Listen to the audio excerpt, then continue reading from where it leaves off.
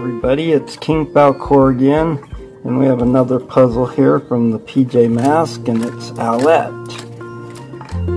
So let's see, we gotta find these four corners again. There's one, two, three, where's that fourth one? Four, right there. Alright. Alright. Put these off to the side. Alright, we got words, so that should be the bottom. Right there. This one's a little bit different. Looks like the pieces go a long ways, so let's see. Here's the picture right here. Look at the picture if you don't know. It looks like it goes like this. Let's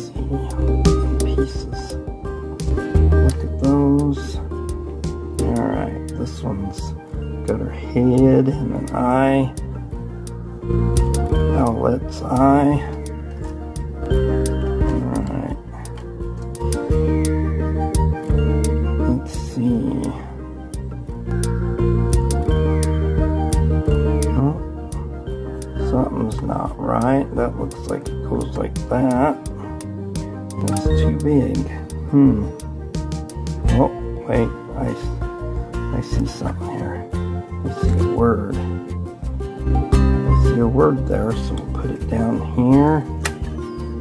Alright, let's see what we're doing here. This one's a little different. This one is a little different.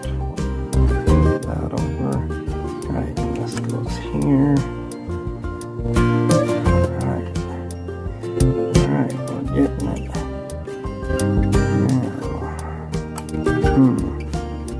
I don't know. Something strange about this one.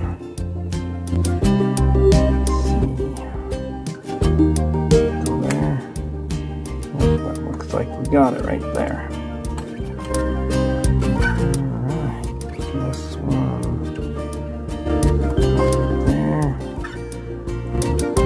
This last one the outside. There we go. Alright, we got an eye here. Looks like it looks like she's upside down. Let's see.